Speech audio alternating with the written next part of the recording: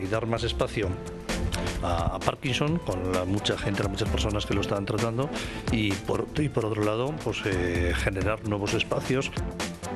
¿Cómo están? Buenas noches. El próximo sábado será un día importante para los afectados y familiares con algún tipo de enfermedad rara o minoritaria. Estas patologías afectan en nuestro país a unos 3 millones de personas, pero solamente el 10% de los casos tienen un mínimo conocimiento científico. Los pacientes reclaman más atención por parte de las administraciones. La Sanidad de Castilla y León incorpora dos nuevas técnicas para mejorar la atención a los enfermos de cáncer. Una de ellas va a permitir radiar con más precisión los tumores cerebrales. La otra es un test genómico que ayuda a elegir el tratamiento más adecuado en caso de cáncer de mama. Se ponen en marcha en los hospitales de Burgos y de Salamanca.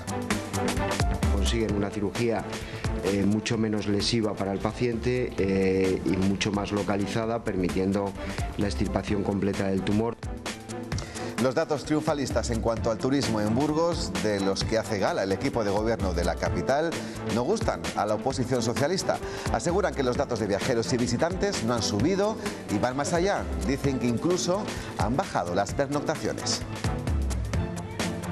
Los datos en turismo son malos en la ciudad de Burgos y lo que pedimos es que el equipo de gobierno tenga una estrategia clara, decidida y eh, global para eh, aumentar eh, y mejorar los datos de turismo y segunda jornada hoy del debate sobre el Estado de la Nación, momento que ha aprovechado el Partido Nacionalista Vasco para reprochar al presidente del Gobierno que no haya hecho nada para solucionar el conflicto existente en el enclave de Treviño.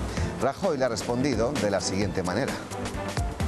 No existe ningún país del mundo que tenga una constitución escrita que reconozca el derecho de autodeterminación.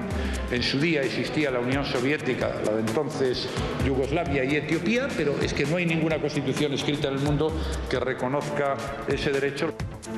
En las noticias de la 8 les presentaremos una guía para padres que tengan dudas sobre cómo afrontar con sus hijos su introducción en las redes sociales. El director nacional del Centro de Seguridad en Internet ha escrito el siguiente libro, Cariño, he conectado a los niños las experiencias que nos comentan algunos de ellos que reconocen estar en Internet desde que eran una ecografía. Y evidentemente no son ellos los que han subido las fotos y los que han subido las imágenes mañana seguirá muy nuboso en el norte con lluvias débiles por la tarde, mientras que en el resto habrá algún chubasco débil y localizado.